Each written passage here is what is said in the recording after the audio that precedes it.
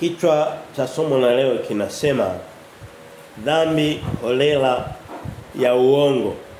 Dhambi holela ya uongo. Hem tufungue kwa maandiko mlango wa nane kitabu cha Yohana, Injili ya Yohana mlango wa nane Tusome mstari mmoja tu wa kufungulia tuone hiki e, kitu kimetokea wapi kwenye Biblia.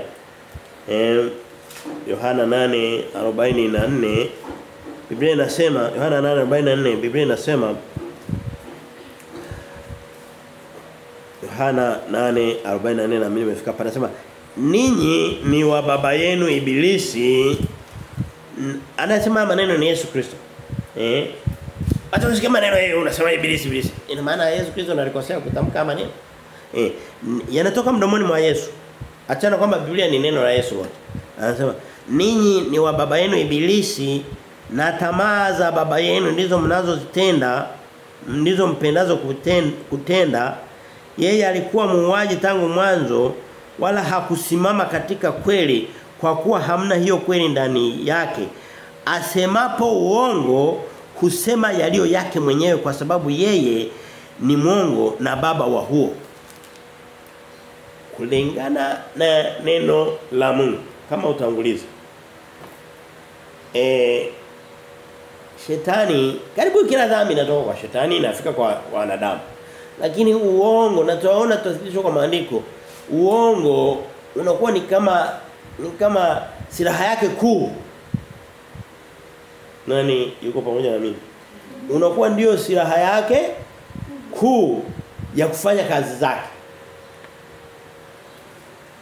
eh ni silaha yake kuu anaweza kaleta uchonganishi anaweza kaleta hila na sio analeta kwa maana kwamba yeye ndo anatenda pana anawachonganisha wanadamu wafanye hivyo lakini ili kusudi kazi ya shetani itimie duniani lazima uongo uhusike. Msikiliza alipofungia pale asemapo uongo husema yaliyo yake mwenyewe kwa sababu yeye ni mwongo na baba wa uongo. Wewe kwambie.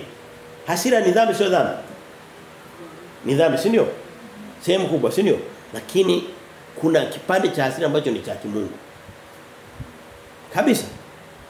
Yesu aliona hasira mara nyingi, Mungu anaona anagadhibika kila siku na ndio sababu atahukumu dunia kwa sehemu kubwa kwa hasira zake. Biblia inasema lakini huwezi ukapata kipande cha uongo cha Mungu. Eh. Uwezo ukapata kipande cha uongo cha Mungu. Yote asilimia mia moja ni mali ya shetani. Na watumishi wake na wanadamu wake. Leo tuko kwenye sehemu ya tatu ya masomo ambayo yalianza kama ni ni, ni, ni dhambi za um, kwanza za kwenye nafsi za ndani ni vitu ambavyo ni eh huwezi ukaviona sio vitu vya nje eh tofauti na jambazi linaenda gonga madirisha linavunja linaingia milango na nini hii nyewe ni kitu kina cha kiniania zaidi kwa kwenye nia wiki ya kwanza tuliona dhambi ya kujipendekeza ni aina fulani ya uongo kujipendekeza ni kujaribu kuji Nakumbuka tuliposoma somo hili kwa wiki ya kwanza. Eh. Ni kujaribu kujipa hadhi ambayo sio ya kwako. Ni uongo fulani. Wiki iliyofuata tukaona dhambi ya uongo wa aina nyingine ya unafiki. Maana tukagundua kwamba pia mnakumbuka neno la unafiki. Katika makundi ambayo Yesu Kristo alikuwa nayakemea hajasema enyi wafarisayo wazinzi. Na walikuwa wazinzi kweli kweli. Enyi wafarisayo wezi. Walikuwa wezi alikuwa anasema wanafiki. Ukaona kwamba ilikuwa ni dhambi ambayo nayo iko kwenye kimo cha juu cha hasira ya Mungu. Nafiki fulani ya uongo leo tunaenda kuangalia uongo katika jumla yake ambao sio lazima uwe unafiki yani unafiki ni kule kama kutoa taswira ambayo sio yenyewe haina tofauti sana kujipendekeza lakini leo tunaenda uongo ni kule kusema kitu ambacho sio chenyewe au kutenda ambacho sio chenyewe. Na ngoja niwaambie wote sisi binadamu wote ni waongo. Nena na mimi. Tofauti yetu ni kiwango. Na lengo la na lengo la Mungu ni ili kusudi kila mmoja wetu uwe ambaye ana, ana asilimia kumi ya uongo mdomoni mwake apa afikie sifuri aliye na asilimia tisini naye afikie sifuri. Kwa hiyo wote tunatuangalia. Lakini naomba tunaoenda kujifunza hili somo ni sehemu ya tatu. sema kwa tunaona kujipendekeza ambayo ni eneo uongo, sehemu ya pili unafiki. Ya tatu tunaona uongo wa jumla jumla. Nisema uongo, kutenda uongo ambayo huhitaji kujipendekeza au kufanya unafiki. Eh, unafiki unakuwa unatafuta kama fedha au unatafuta kama aina fulani ya ya kupata kitu fulani. Uongo ni ni kupotosha. Eh. Eh. Tunaona kwamba ni dhambi ambayo ina direct ina ina ina uhusiano wa moja kwa moja na utendaji wa wa shetani. Eh, hem tuende katika naomba na, na, na, mimi niende haraka haraka. Eh, na najua Kristo ambaye anaweza kwenda haraka haraka lakini nitakuwa sisubiri si, si mtu kwa kweli. Kwa sababu nikisubiri tutakuwa tumalize. Eh. Hem tuende katika kitabu cha Timotheo wa kwanza mlango wa wa pili mlango wa pili wa Timotheo wa kwanza mstari wa 14 anasema hivi wala Adam au Adamu hakudanganywa ila mwanamke alidanganywa kabisa akaingia katika hali ya kukosa. Wakati neno la Mungu linasema madhabahuni mwanamke asisimame kuhubiri alikuwa naogopa ule uongo ambao shetani aliutanguliza duniani. Wewe mwambie dhambi ya kwanza duniani kiukweli ukichunguza ni dhambi ya uongo. Kwa nini? Kwa sababu mambo yalikuwa yanaenda sawa sawa watu walikuwa wamefunikwa na neema ya Mungu mtu na mke wake Adam na Eva shetani anaingia eh labda alikuwa na makosa kosa yake huko nyuma hatuwezi kujua lakini ile ambayo ilikuja kumuingia mwanadamu ilikuja kwa kumhadaa ndiko kudanganya anamwambia hivi Mbona kwanza uko peke yako eh? eh haya kuandikwa. Huo mmeo yuko wapi? Ah, labda ameenda kwenye mechi huko anaangalia mpira. Natoa mfano. Aha, akagundua kwamba hapa niko salama nitadanganya kirahisi rahisi. Ehe. Umefika? Ah, sikula chakula matunda yote. Sasa lile nalo haya lile pale unaweza kula. Ah, ili ili tusile tumeshazoea. Mengine yote tutakula. Yako mengi tuko huru. hilo lenyewe ndugu yangu ukisha kula hili kwamba mtakufa? Ah mmedanganywa vipi bwana? Ndio mtajua mema yote na mabaya alafu yani mtakuwa mmekuwa kama Mungu. Mungu anataka tumbaki chini. Anawakandamiza ana, ana hawapi haki zenu. Kweli eh? Hatuna matamu bila shaka hili huu tamu bila shaka ndo ndo ndo, ndo ujanja wote huko Mungu. Akaenda kakamata akala kama na mjinga mjinga wake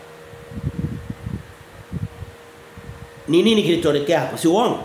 Ndio sababu na neno la Mungu linamwambia mwanamke kwenye Timotheo kwanza mlango wa pili mstari wa 14 kwa sababu ya wepesi wa kudanganyika ule ha, haruhusu sehemu pekee ambapo uongo unatakiwa uwe wa mwisho kabisa kukanyaga ni hapa kwenye madhabahu. Danganya nini? Tunasema neno nyumba ya Mungu is a ground and the pillar of the truth ni sehemu ambapo kweli inatakiwa itoke. Kwenye movie wanaweza kadanganya nini? Kwenye maigizo watadanganya. Hata kwenye siasa wadanganyane lakini kwenye madhabahu. Ndio sababu tunakuwa wakali sana. Neno la Mungu linakuwa kali sana linapoongelea habari za madhabahu. Kiasi kwamba nikachukua nusu ya wanadamu ambao ni wakina mama, nasema msisimame pale mkahubiri kwa sababu tusichotaka ni uongo kama ulioingia duniani kwa mara ya kwanza. Nani yuko pamoja na mimi? Amen. Nani anaweza kusema kwamba haya mambo hayako kwenye hayako kwenye Biblia? Yako hivyo. Kwa sababu hata anachokizuia kwenye Timotheo ukienda mwanzoni kabisa mwa kitabu yamkini tuende huko baadaye. Eh, mwanzo mlango wa 3. Eh. Kwa hiyo ni hebu jiulize dhambi ya kwanza kabisa kumwangusha mwanadamu ni ya kuchezea wasema ah iko ah, ni dhambi tu. By the way, nimeshaandaa somo ambalo nilihubiri zamani sana miaka mingi iliyopita. Nitalirudia. Ninasema dhambi zote sio sawa. Nitabadilisha kidogo vipengele. Kusudi tujue vitu vingine tofauti. Hii sio dhambi ya kuchezea. Kwanza tumeita dhambi holela. Kwa nini? Ni dhambi ambayo leo hii ma uongo ume ume kusema uongo kudanganya danganya ku inachukuliwa kama ni kitu tu cha kawaida yani kana kwamba sio dhambi tena. Kidogo mtu ukimdhulumu kidogo watu watasema mm, kweli amedhulumiwa ni wataona tatizo. Wewe mwambie sasa hivi dhambi imeanza kuonekana. Biblia inasema ole wao katika kitabu cha Isaya mlango wa 5 mstari wa 20 inasema ole wao wanaoweka wema kwa ubaya na ubaya kwa wema nuru kwa nafa, kwa giza na giza kwa nuru. Leo hii maisha ya uongo uongo na mengine mengine dhambi nyingine zimekuwa normalized zimekuwa za kawaida. Yani ha, ni dhambi ambayo inaonekana lakini mbele za Mungu ni dhambi ambayo inamnyima hata mwanamke kusimama kwenye madhabahu kwa sababu alidanganya. Ndio dhambi ya kwanza iliyoingia Edeni kwenye kwenye kwenye kwenye kwenye e, bustani ya Mungu. Sehemu ilikuwa safi. Hapa hapa kutangulia kiburi my friend Mungu dhambi ya kwanza aliifanya shetani kwa kumdanganya ambaye Biblia inasema ndo baba yake. Wewe ngambie ushike kitu ambacho baba yake ni shetani. Umeshika kitu salama. Si bora ushike nguzo za umeme wa wa kilovoti 200 na ngapi?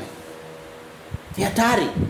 Ujumbe wa somo hili ni nini kabla siende? Tutakuwa naendelea kutoa jumbe au take away message au nini tuondoke nacho. Tujifunze. Bali uongo uongo wote tunadanganya wanadamu. Hakuna atakayemwambia kwamba sijawahi kudanganya au sidanganyi kabisa atakuwa anadanganya vile vile. Ni uongo juu ya uongo. Lakini tujaribu kwa kadri ninavyowezekana ku kushinda kishawishi cha kudanganya. Wakati mwingine tunakuja kuona huko mwishoni sababu za kwa nini watu wanadanganya. Sababu mojawapo ni kutaka tu wasi e, wasiwajibike kwa mabaya au wasionekane vibaya au wasilaumike Mwambie ni mara mia ulaumike kuliko kudanganya. Kwa sababu lawama huponya heli lawama ya wazi kuliko upendo ulio uliofichika.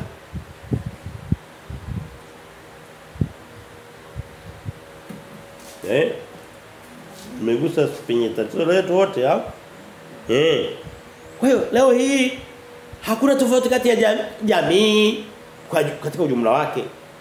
Eh makanisani kwenye mamlaka za serikali uongo uongo ni kitu tu kilichochukuliwa kama ni kitu cha kawaida tunaita dhambi holela kwa sababu inaenea ovyo ovyo na hakuna anayeikemea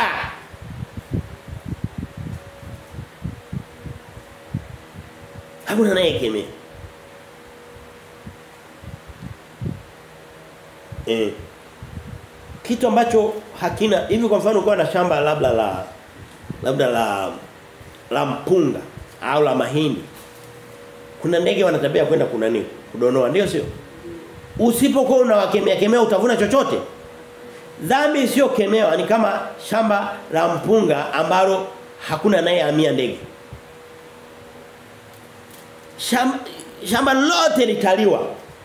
Wa, wa, wa Kristo wote watakuwa waongo kwa sababu kwanza ni dhambi ambayo inatoka moja kwa moja kwa mwenyewe. Wewe wamia dhambi kama ulevi ukaangalia unaweza ukamtetea shetani. Sawa kila dhambi yuko nyuma yake lakini kuna nyingine ambayo yeye mwenyewe ndiye anakabili kama ulevi ilianza na na Nuhu na vikili tena kwa bahati mbaya akagundua kwamba labda alikunywa nafaka zake zikalala bila ku, zikakosa watu kuma, kuzimaliza hazikuisha. Kesho akagundua tayari zimechacha. Alipoonja akalewa.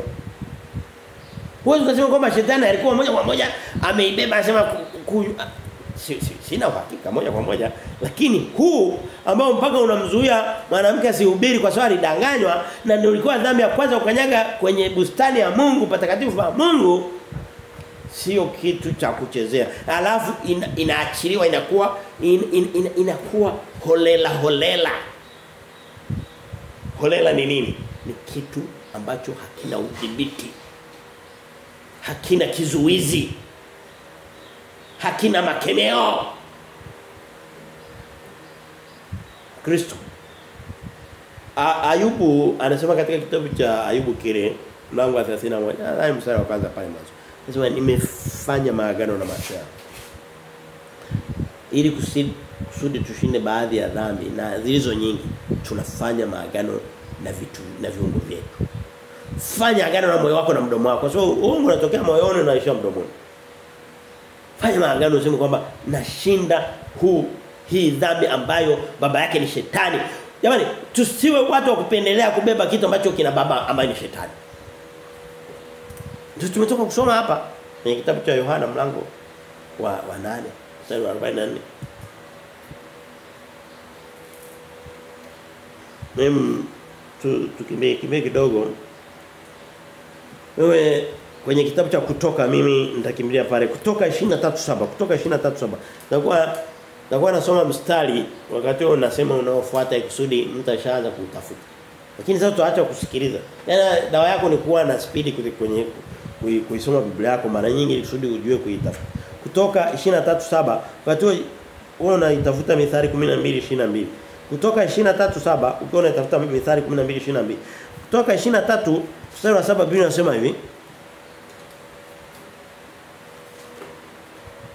Jitenge mbali na neno la uongo wala wasio hatia na wenye haki usiwaue kwa kuwa mimi sitamhesabia haki yeye aliye muovu.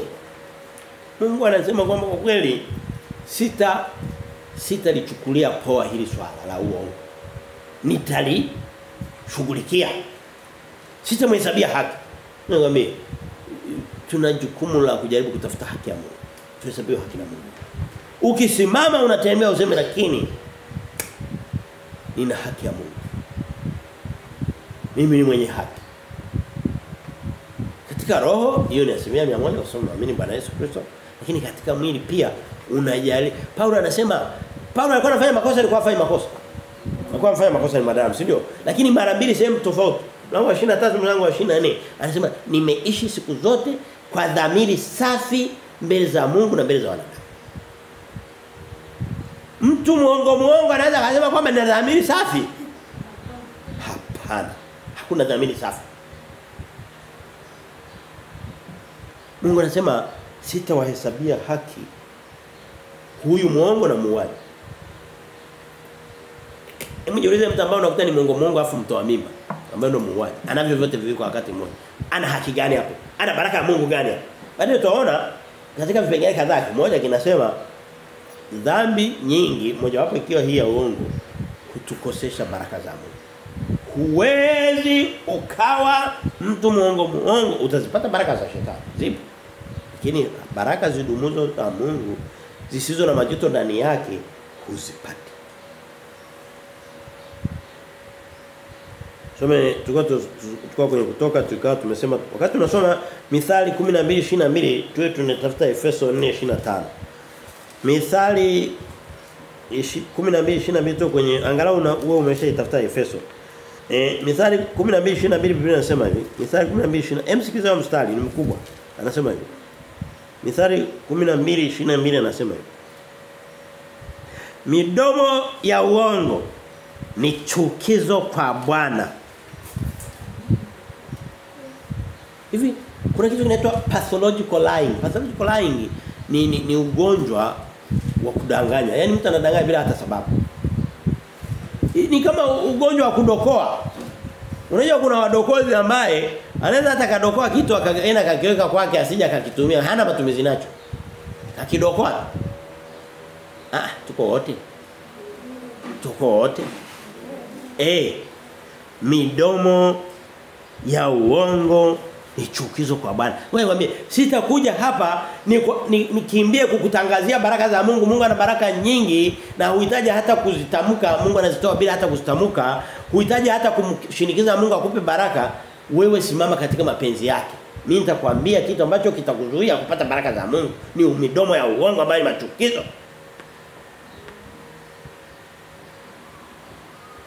Wakati tunaitafuta Efeso 4:25 eh mtende kwenye Efeso 4:25. Tunaona kwamba Mungu anachukizwa na hiyo midomo. Yaani akiona tu ina, anaona chuki. Jamani, midomo si ndio inaomba inafanya sala? Si ndio inatamka maombi? Sasa Mungu anashaichukia kitu kinachotoka kwa mata labda kwa vile tu Mungu ana rehema. Lakini jamani rehema za Mungu wakati tunasema hazina mwisho lakini zina na mwisho. Kweli zina vyote. Ni kama upendo wa mzazi wa kweli. Unaweza kusema hauna mwisho kwa mtoto kwa kipimo fulani, lakini mzazi huyo anaanza kumpeleka mtoto polisi sema naomba mumhifadhi. Asitoke. Hivyo feso 4:25 Efeso 4:25 Biblia inasema basi uvueni uongo mkaseme kweli kila mtu na jirani yake kwa maana tu viungo kila mmoja kiungo cha wenzake. Mungu uvueni uongo. Naona kwa hebu ngoja mwambie.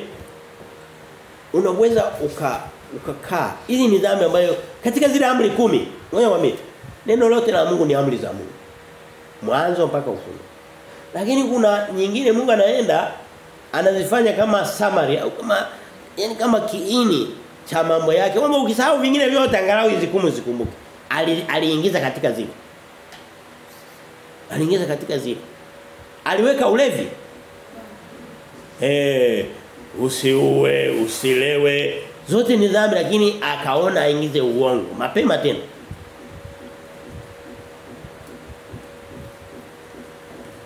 Eh.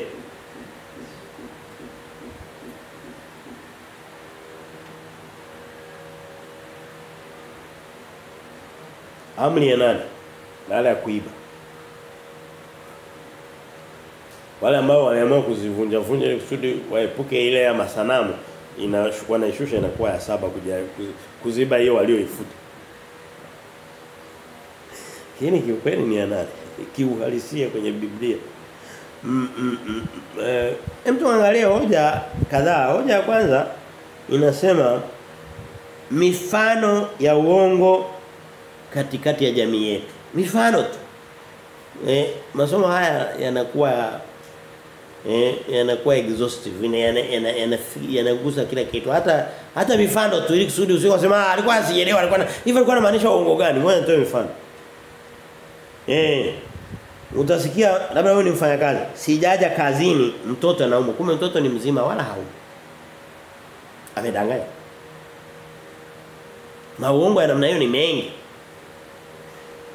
Shuleni tunadaiwa pesa ya mitihani. Kumbe hakuna hata pesa inayodaiwa hata moja. Eh. Niko safari Morogoro. Kumbe yuko Dar es Salaam. Hana sababu yoyote. Na unaweza hata ukamwona kabisa anapiga simu. Eh, niko hapa. Niko Morogoro, asiye nimesafiri niko mikoani. Ukichunguza vizuri unasikia, unasikia anaongelea hapo jirani. Eh naenda msibani. Eh babu yangu amefariki nienda msibani. Au nasafiri kikazi kumbe ameenda kwa mchepuko. Maongo kama hayo. Hutalisikia linahubiriwa kwenye mimiji kanisa yao. Pesa zimewapa nafasi sadaka. Zimewapa nafasi mtu anayekuhubiri na somo kama ile anakupenda. Eh. Sasa nakwambia kweli ya Mungu. Na anakuambia wewe ananiambia mimi. Eh. Huo ni uongo wa kijamii jamii. Waga. Corona eh ni ugonjwa wa virusi vya asili vimetokea na tuna chanjo yake kumbe imetengenezwa maabara na chanjo ni biashara na chanjo ni kujaribu kubeba miili ya wanadamu na kuiambukiza magonjwa zaidi. Huo ni uongo, sasa wa kimataifa. Mifano Eh, mfano mwingine wa kimataifa. Tuna baraza la usalama la umoja wa mataifa.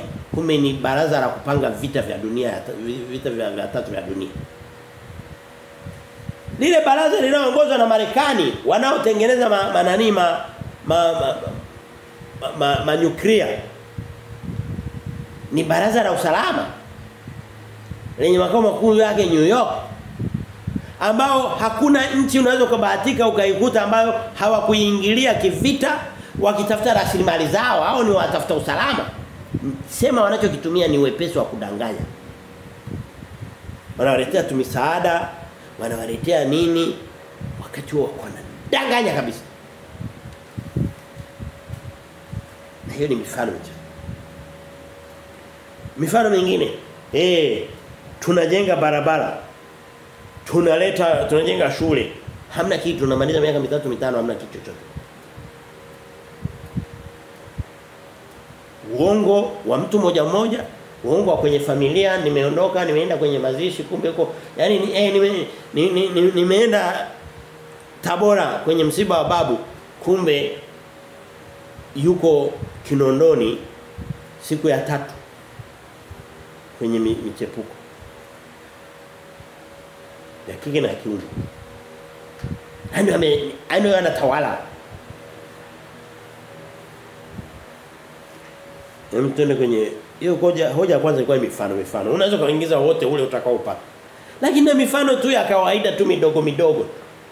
Ya kawaida. Sasa uongo mwingi unaji, una mtu hujifunza kuwa muongo. Tabia nyingi zinajifunza utotoni, lakini tabia ya uongo huanzia watoto ni waongo sana kuliko watu wazima. Eh. Uwezo kazi unaweza kuniambia kwamba watoto wana hasira sana kuliko watu wazima? Hapana, si ndio? Watoto wana kiburi sana kuliko watu wazima? Hapana, lakini watoto ni waongo kuliko watu wazima. Hoja na kitu unachojifunza utotoni huwa kinakuwa sana ni hatari zaidi kuliko cha ukubwani. Hoja ya pili nasema Mungu huchukia na kuuadhibu uongo. Yaani sio kitu anakichukulia kirahisi rahisi. Eh, kuna dhambi nyingi za Mungu Mungu Biblia inasema macho ya Mungu matakatifu hayaoni, hayaangalia hata tadhami. Kwa maana kwamba yani ha, ha, yani ha, ha, hachukuliani nayo kwa vipimo vyote vile. Ndio sababu akaona basi amtoe mwanae pekee kusudi akaenda kaisafishe dhambi kwa wanaomwamini Yesu Kristo. Ili kusudi tu aepukane na hiyo. Lakini vile vile inapo shamiri, inapoendelea Mungu anaichukulia hatua, anaichukia na kuiadhibu. Mtoto kwenye mistari haraka haraka. Emfungua kitabu chako cha mistari. Tusome mistari sehemu kama 4 alafu tuta tuta tutahamia sehemu nyingine. Tuko kwenye mistari pale. Tusome tu e, vitu kadhaa kwenye mistari 19 na 9. 10 mistari 19 mimi nitakuwa nasoma haraka nikifika pale. Mstari wa 5 anasema hivi. Shahidi wa uongo hakosi ataadhibiwa. Kulingana na neno la Mungu, uongo kushuhudia uongo na uongo wote lazima hata kosa. yani ni ni ni garantii kwamba lazima atamwadhibu. Anaweza kama kwa ugonjwa. Mungu mara nyingi anaadhibu miili ya wanadamu kwa ugonjwa, kwa kwa kumnyima baraka, kwa kum, kwa mapigo, vitu kama hivyo, yani kupitia taabu mbalimbali. Lakini Biblia inasema shahidi wa uongo hakosi ataadhibiwa. Mstari wa tisa shahidi wa uongo hakosi ataadhibiwa mara ya pili. Ukiona Mungu anarudia mstari ule ule kwenye sura ile ile au sura inayofuata au kitabu sehemu nyingine, ujue ni msisitizo. Tulikuwa kwenye Mithali 19. Twende Mithali 12. Mithali 12 22 anasema hivi. Mithali 12 22 anasema Midomo ya uongo ni chukizo kwa Bwana bali watendao uaminifu ndio. Tushaona kwamba Mungu anachukizwa na midomo ya uongo. Tushauona. Mithali sita Chukua 12 twende kushoto zaidi mwa kitabu chako. Mithali sita mstari tuanzie wa 10 na na sita. Mithali 6:16 anasema hivi. Kuna vitu sita ambavyo vinamchukiza Bwana navyo viko saba vilivyochukizwa kwake. Vitu vinavyomchukiza vitu saba vinavyomchukiza Bwana. Eh, anasema hivi. Macho ya kiburi, ulimi wa uongo. Yaani katika vile midhambi ambayo Mungu yani anaweka kwenye kundi kubwa. Kwanza ametaja saba. Of course na sehemu nyingine kuna vitu vingine. Lakini kwa nini anachukua vitu vichache? Anaviweka kwenye amri zake kumi katika madhambi yote ya dunia hii. Ana, anaweka mbona kama watu mmesinzia hamtaki kusikia hili somo nitawaamsha hii somo linatuhusu wote eh eh, eh unajua dhambi ni mbaya. Dhambi ni kama kama mdudu. yani ha, yani haitaki iguswe. Ndio tabia za dhambi. Haitaki itoke. Lakini vile vile hata iruhusu iendelee kujificha na kujichimbia. Lazima tui, tuirudishe ionekane tuingoe. Eh.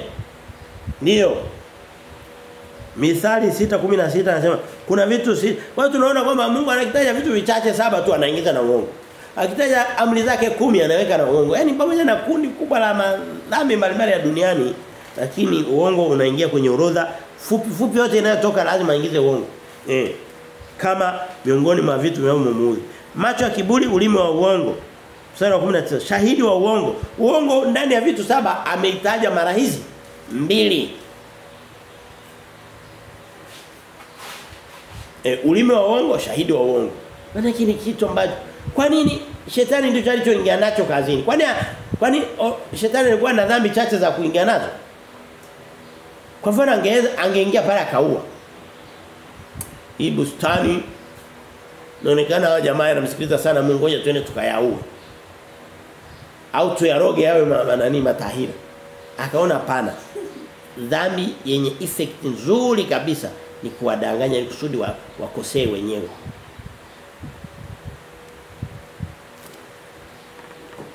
Z, e, Mithali 26 Mithali 26:18 Mithali 26:18 anasema hivi. Mithali 26:18 anasema hivi. Kama mtu mwenye wazimu atupaye mienge na mishale na mauti ndivyo alivyo amdanganyaye mwenzake na kusema je siku sikuwa nafanya mzaha? Matani ya uongo mizaha ya uongo. Hii wa, ni dhambi ambayo wanapenda kufanya watoto eh fulani fulani fulani.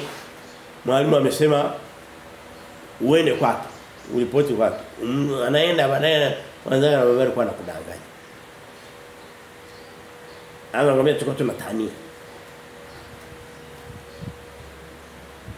Ndio kwamba ni vitu ambavyo Mungu anasema akivirudia.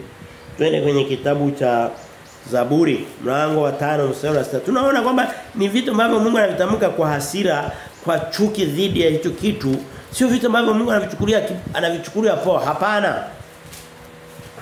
Ngombe kitu ambacho unaona Biblia inakichukulia kwa, uma, kwa kwa ukali. Ikichukulia hivyo hivyo. Hebu wewe wewe uliosoma Biblia Ndakuja kuhubiri dhambi ya uchawi kwenye hii mfululizo wa madhambi haya. Na na na uganga. Na ushirikina. Kama yale yale. Uongo kwenye kitabu cha Mithali jana tulikuwa tunasoma mlango wa 28. Ni wapi ambapo uongo umesema mara nyingi ndio sio? Ni wapi ambapo amesema ushirikina mara nyingi? Ukiona Biblia inasisitiza kitu, ujue hicho ndio msitizo wa kwanza utakao tuwe haki na hukumu haki na hukumu haki ni nini ni kinyume cha uongo Zaburi mlango wa tano tuko tunaangalia kipengele kidogo kinachosema Mungu huchukia uongo na ata, anauadhibu na atauadhibu eh Zaburi tano sita anasema hivi Utawaharibu asemao uongo akinena katika roho anasema hao watu hao watu wanabaki salama. Wewe mwambie. Hebu tutafute amani kwenye hii dunia kwa kuje kwa kusema ukweli. Huku alisema kwenye kitabu cha cha Waefeso 4 pale 25. Anasema vueni uongo kila mtu aseme kweli na jirani yake. Mungu anasema utawaharibu watu wasema uongo.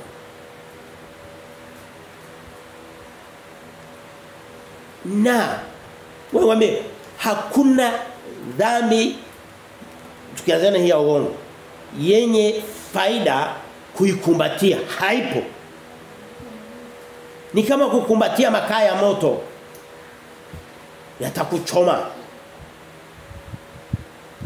Eh. Hem kwenye kitabu cha Zakaria. Mlango wa nane. Tuko tunaangalia Mungu anasema huko ataharibu Mungu anasema nitachukizwa na hivyo, nachukizwa na hiyo midomo na inaniudhi, inanikasirisha. Mwambie tusiwe na tabia ya kuchukulia poa kitu ambacho Mungu anakisitiza kwamba kinamkasirisha. Kile kinacho tujifunze kuwa na ajenda moja na Mungu, kinachomuudhi Mungu kikuudhi wewe. Mungu anachukizwa na vauche. Na wewe wakuudhi vile vile. Tena na uso wako uonekane kabisa kwamba wamekuudhi. Mungu anachukizwa na ushoga kupindukia na akashushia na kiberiti pale Sodoma na Gomora na miji ya jirani. Na wewe lazima uchukizwe kwa kiwango hicho. Sio kusema ah wazi mambo yao. Mambo yao vipi vyumbani mwao? nicho ndicho Biblia inachosema. Hapana. Hapana.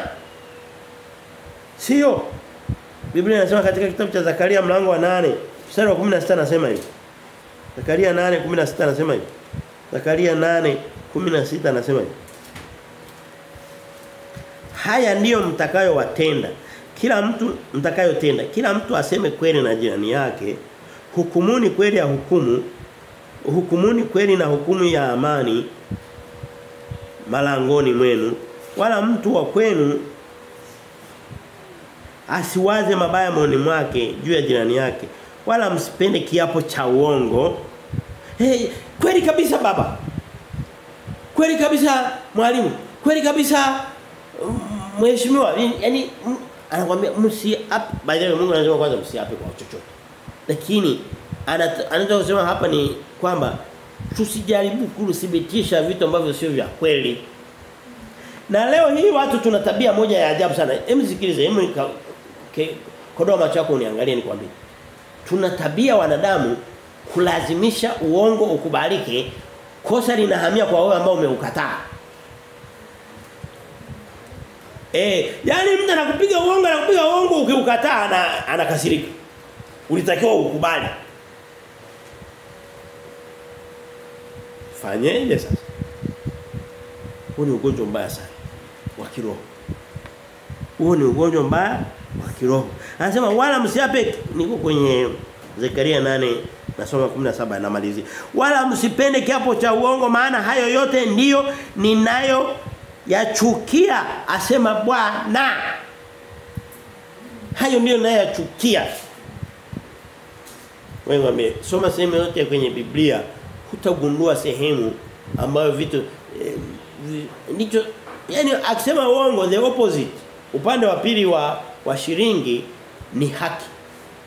Unasema tendeni haki tendeni hukumu ya. Haki na hukumu. Kinyume chake anasema msifanye viapo vya uongo, msitende uongo. yani hayo ni maeneo ambayo moyo wa Mungu unadundia. Mungu wako anayekubariki. Mungu wako anayekutunza, anayekupa pumzi, anayenipa pumzi. Alafu tunataka kucheza Unajua kuna dhambi nyingine ambazo zinamuudhi Mungu lakini kwa sababu haziko frequent, yani hazitokei mara nyingi kivile.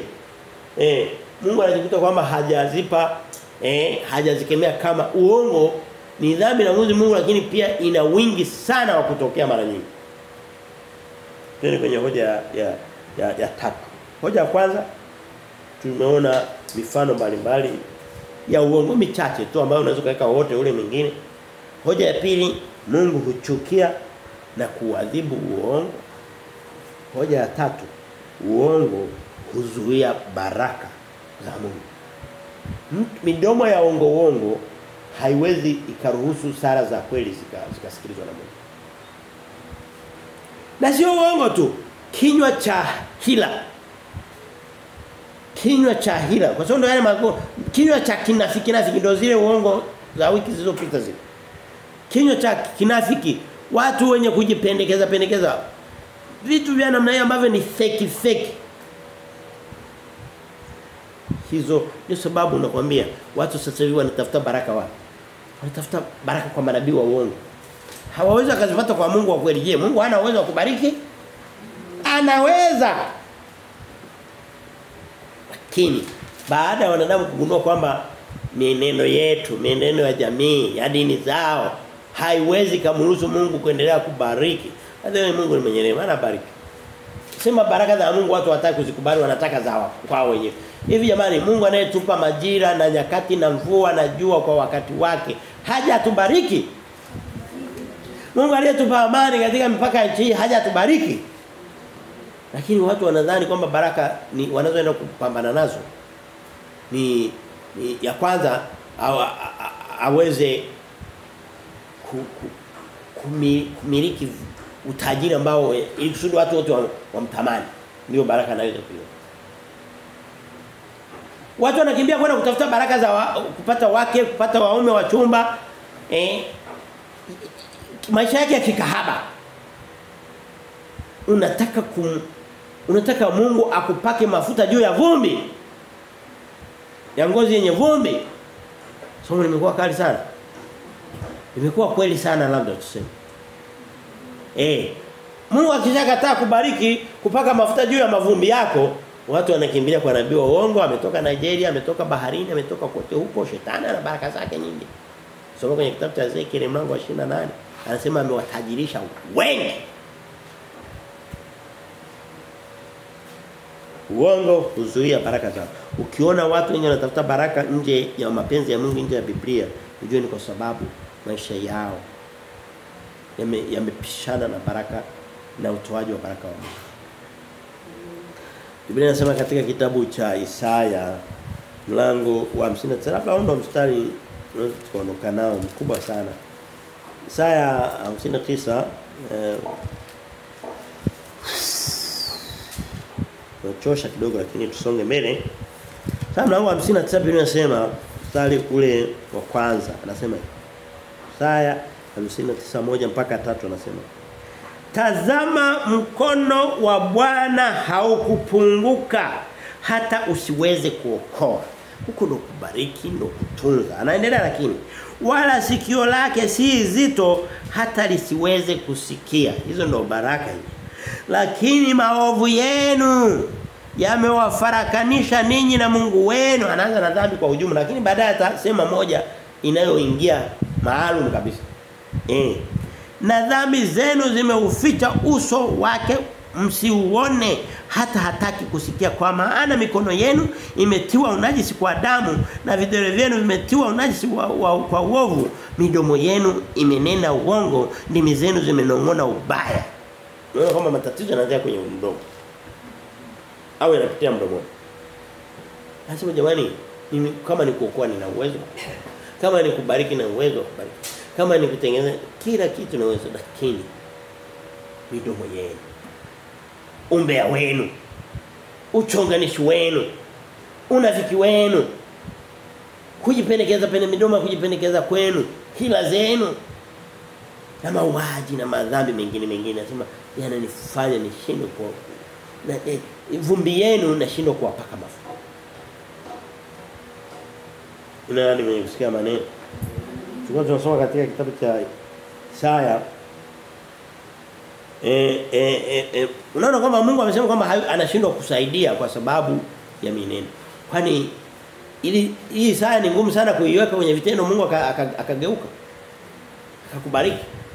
Watu wengine wanapambana baraka za duniani wanapambana na baraka za kudumu za, za, za Yesu Kristo. Yeremia 23:32 kama ulikuwa kwenye Isaya endelea kulia zaidi kwa Biblia yako. Endelea kufungua kulia kwa mkono wako wa kulia endelea kufungua.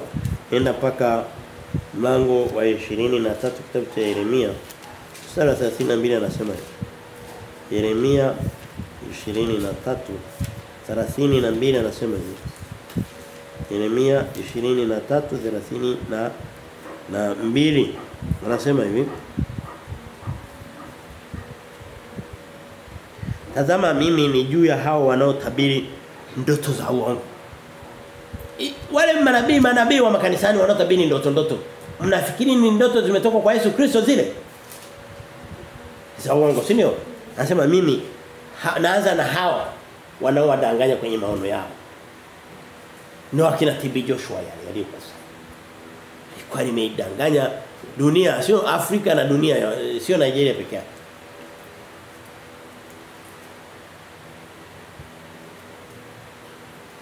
Na hata huu mkanisa wa hapa jana nimepita hapa Kumbe ni wati, ni, ni tawi la TB Joshua. Ndio sasa hizi mnasikia umetulia. Eh. Mungu kwa wakati wake anayahukumu hapo. Eh. Imeandikwa T Squad Tanzania Squad. Squad kwa ndo mkanisa wa TB Joshua. Hapa kuna watu akisikia umekusa shetani lao marehemu. Shetani lao lilikufa. Yaani wanachukia. Tazama mimi nijua ya hao wanaotabiri ndoto za uongo asema Bwana na kuzisema na kuwakosesha watu wangu kwa uongo wao. Hilo hilo li Joshua hilo lililokufa. Niliwahi kumtabiria marehemu mwingine alikuwa anaitwa anaitwa Edward Lowassa. Huko Nigeria baadaye kuja hata huko. Mwambie wewe ndio unaenda kuwa rais wa Tanzania. Eh nilishamwambia nenda kwenye video utani. Uongo. Lakini mashetani wake wako hapa duniani watangoka tu baadaye. Wako wanalitetea kila siku. Hata baada ya kufa. Sisi ukubali shetani lako limekufa. Unalitafutia nini tena? Au ukiwa na hasira jisage ulifate. Shetani hasemi vizuri. sio tunaongea kwa ukali. Na anasema na anasema uongo na kuwakosesha watu wangu kwa uongo wao na kwa majivuno yao ya upuzi. Nini jamani alikuwa anajivuna alikuwa alijivuni. Alikuwa anajivuna. Inatembea kama nyani dume. Eme mimi hatujuani ninalikemea kwa sababu lilikuwa limesimama kinyume na kweli ya Mungu kwa kila kipimo alafu likiwadanganya watu. Mtu akisimama kinyume na kweli ya Mungu kivyake vyake huyo sipambani naye. Lakini akitaka kuwadanganya na wengine tuna jukumu la kutumia neno la Mungu kupingana. Eh, nilikuwa nasoma katika kitabu cha Yeremia, hem twende katika tupige reverse turudi kushoto. Eh, kuna Mithali 21:6 mimi nitakimbia kimbia muda umesogea. Mithali 21:6 eh anasema hivi mimi nitakimbia kimbia Mithali 21:6 wakati unaandika andaa Mithali 30. Mi- Mithali 21:6 Biblia inasema kupata akiba ya mali kwa ulimi wa uongo ni moshi upeperushao ni kutafuta mauti. Hapa kachanganya tamaa, kachanganya utajiri, vitu vyote ambavyo sio vizuri. Tajiri wa uongo. Lakini anatumia uongo kuvipata. Anasema ni moshi lakini vile vile ni, ni kama kukumbatia kifo. Leo hii watu wanao tafuta utajiri kwa njia za za, za uongo uongo ni, ni, ni asilimia ngapi? Mm. Katika jamii ni nyingi mno. Mali nyingi sana utajiri mwingi unaoona mwingi umejengwa juu ya uongo. Hivi rushwa si aina fulani ya uongo? Yeye ni fulani ya uongo. Hakuna haki. Rushwa ni adui ya haki. Kinyume cha haki ni uongo. Tukienda kwenye semantics za Kiswahili. Eh. Tuko kwenye Mithali 21, twende kwenye Mithali 30, mwishoni wa kitabu cha Mithali Mithali 30 Biblia inasema hivi. Mithali 30 some mstari ule wa saba na wanane anasema. Maneno kwanza tuanzie hata wa sita. Usiongeze neno katika maneno yake asija kakulaumu ukaonekana mwongo. Eh. Ma, mambo haya mawili nimekuomba. Unaona uongo ameukemea. Mstari wa sita. Mstari wa saba mambo haya mawili nimekuomba usininyime matatu hata kabla sijafa. Uniondolee ubatili na uongo usinipe umasikini na uta, wala utajiri na, na mambo mengine. Unaona katika vitu tumeona kila orodha ya mambo mabaya inayotoka. Anza kwenye amri kumi za Mungu, kwenye amri Mungu ukihesabu kwenye kwenye kum, kumbukumbu Torati na vile vitabu vingine vitano vya hawa Utakuta ziko kama 999. Na hapo unaenda kwenye agano jipya. Kuna amri za Mungu nyingi nyingi. Lakini alipotaja kumi tu chache za msingi aliingiza uongo. Tumeona pale kwenye mithali sita mambo saba uongo umetajwa mara hizi mara mbili. Hapa mwandishi wa misali 30 alipokuwa anamuomba Mungu mambo makubwa matatu. Makubwa tu. Yaani alisema katika vitu hivyo naomba Mungu niondolee ulimbo wa uongo. Unaona kwamba ni kitu ambacho kiko juu sana katika vitu vibaya.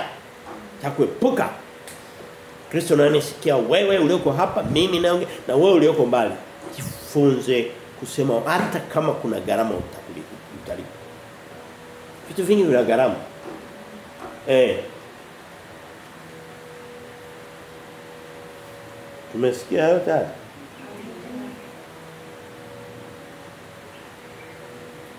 Mithali tumemaliza. Twende kwenye Zaburi ya 100. Tuko tunaangalia pengine tunasema uongo huzuia baraka za huzuia kibali cha Mungu. Eh. Lakini tuendelee. Zaburi na moja wakati uangalia andaa Zaburi aroba, ya 40. Zaburi na moja wakati huo ukitafuta Zaburi ya ya 40. Zaburi ya moja na moja mstari ule wa saba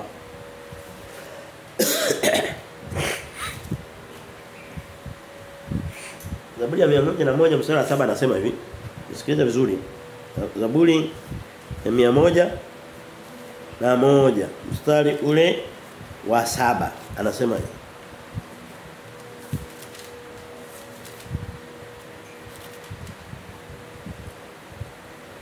hata kaa ndani ya nyumba yangu mtu atendaye hila asemaye uongo hata thibitika mbele ya macho yangu Naweza kulimaanisha maana nyingi sana. Anamwambia ikiwa ni nyumba ya wacha Mungu. Nyumba yenye hofu ya Mungu isifuge waongo ndani yake. Isiwe na mtoto anayejulikana kwamba ni muongo. Hicho anataka kusema. Isiwe na mfanyakazi anayejulikana kwamba ni muongo. Isiwe na baba na mama wanaojulikana ni waongo. Eh. Uongo ukitokea utokee kama accident. Kama ajali tu. hata kaa ndani ya nyumba yako. Maana huyu mtu inabidi aondoshwe kulingana na neno la Mungu. Hem tusome tuko kwenye Zaburi ya 101, Zaburi ya 40 mstari wa 4. Zaburi ya 40 mstari wa 4 nasema hivi. Nasema hivi. Heli aliyemfanya Bwana kuwa tumaini lake wala hakuwaelekea unaposema heli ni nini? Hizo ndo baraka. Neno heri na baraka means kitu kimoja amebarikiwa. Anasema mtu aliyemfanya Mungu kuwa tumaini lake. Mungu ni kweli na kwake hutokea kweli. Anasema mtu namna hii ana heri, ana baraka. Kwa tunaangalia kingine kwamba uongo, midomo ya uongo inazuia baraka za mtu zitokeze kwa kwa Mungu wake. Anasema heri aliyemfanya Bwana kuwa tumaini lake wala wala hao wan, wanaogeukia uongo Yaani hayuko katika wale wanaoishi na uongo. Hapa huyu mwenye uongo anapata heri za Mungu? Hapana. Nikwambie, mimi nakuombea upate heri za Mungu. Heri za Mungu ni afya njema. Heri za Mungu ni kula chakula ukashiba, kuishi duniani ukiwa hupitii katika changamoto na, ma, na mapito ya kila dakika. Eh. Sio kama unatoka hospitali tayari una appointment ya kurudi hospitali. Eh, hiyo sio afya. Unatakiwa uishi maisha ambayo huna hofu inayodunda moyoni mwako. Mimi najua mtu ambaye namkuta anaishi ana ugonjwa wa moyo, ana kisukari, maki vimeshikana. Ana ugonjwa wa moyo, ana kisukari. Anaweza kawa na kiharusi, paralysis, stroke.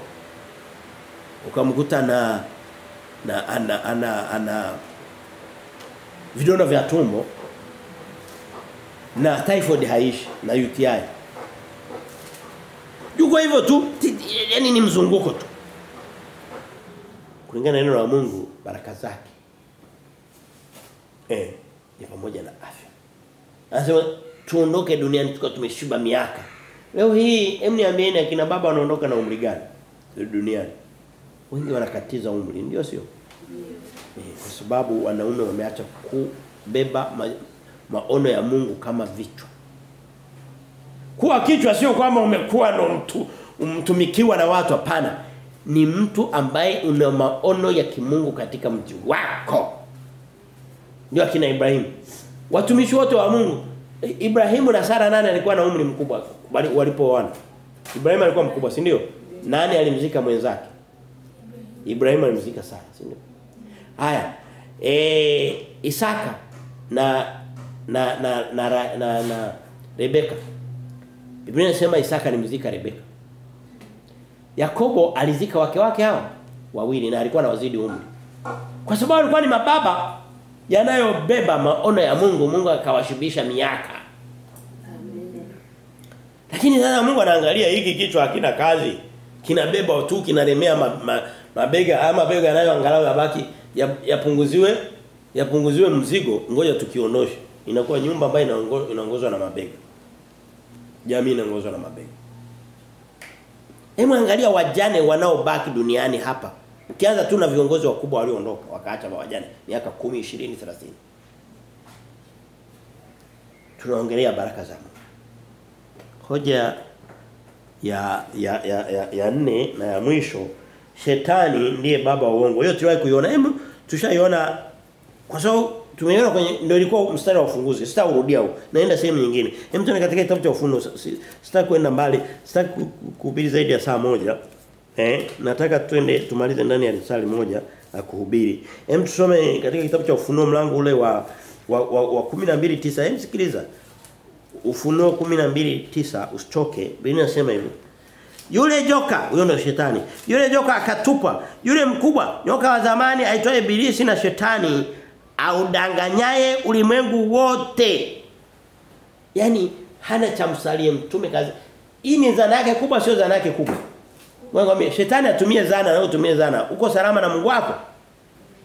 Yaani tunamwona ndiye ndio aliyoingia nayo Eden ndio aliingia nayo kwa wanadamu ndio zana yake ya kwanza. Na ni baba wa huo. Lakini vile vile ndio anayetumia kudanganya dunia nzima. Dunia leo imedanganya. Tuliona kwenye mwanzo tatu nne Eva alivyodanganya. Hoja ya, ya kwa hiyo tunamwona shetani eh, ndiye baba wa uongo. Lakini tunaangalia pia sababu za kudanganya.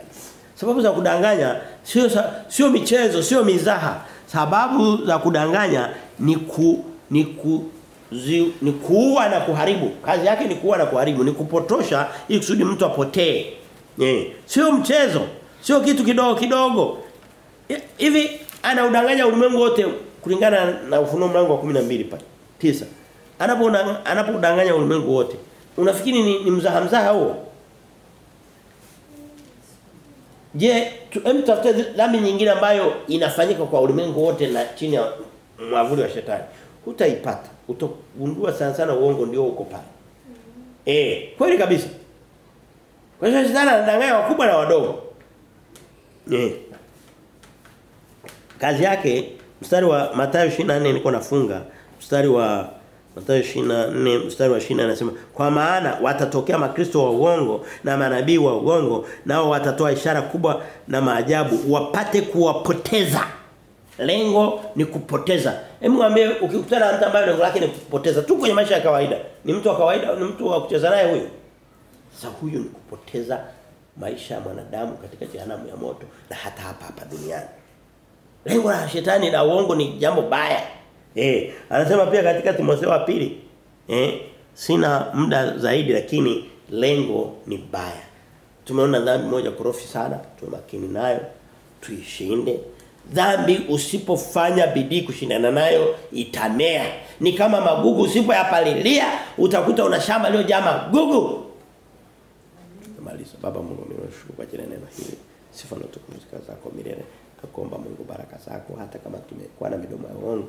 Baba kwa rehema zako kwa sababu tumesikia sauti na tukiwa na nia za kubadilika Mungu.